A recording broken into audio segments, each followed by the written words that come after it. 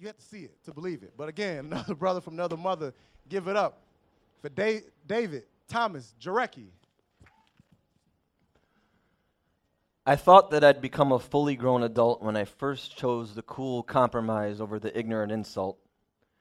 But just as sure as a turbulent night transcends a pitiful dawn, I was proven to be positively wrong and lost every bit of will within my slouching spine once strong. In a dark bar on a Thursday night, an angel in the light inspired thought through sight. No gloom in her grin as she casually allowed our acquaintance to begin.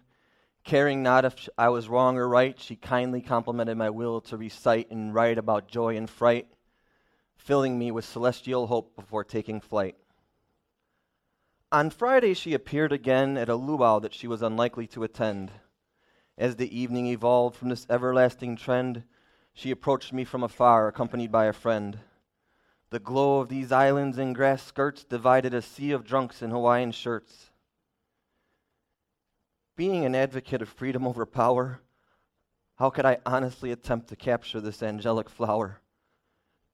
As she danced to tropical tunes for about an hour, I crept in the corner to cower, letting my thoughts and emotions go misunderstood as she took off again, this time apparently for good. How else could I have reacted to her miraculous mosaic? I'm like a paranoid schizophrenic, a depressive that's manic on the verge of going spastic.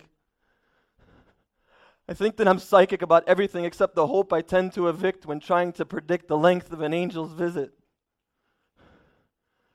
There's something about the sacristy of solace which convinces the spirituality in my spine that my lonely life is already polished.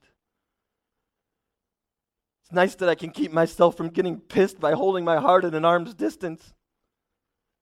But there's something about there's something about missing out on that kiss which makes me wish from within my solace for this bliss. And just when,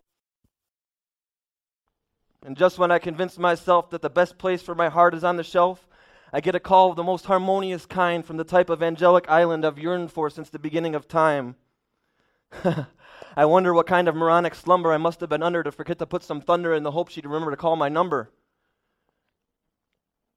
I broke out of being alone and traveled to her home, leaving behind all my past torments by hoping that those first few moments would eventually evolve us into withered grandparents. I tell no lies, her eyes amaze me because they were covered by no disguise, calmly reflecting the unseen skies to dissolve the deceit of flirtation that I despise. I left my heart open as if its beat just began the moment her wingspan comforted my worldly stand definitely a being from heaven. She read my words on a whim, laughing, reciting, absolving sin, selflessly giving her faith to my compiled confusion.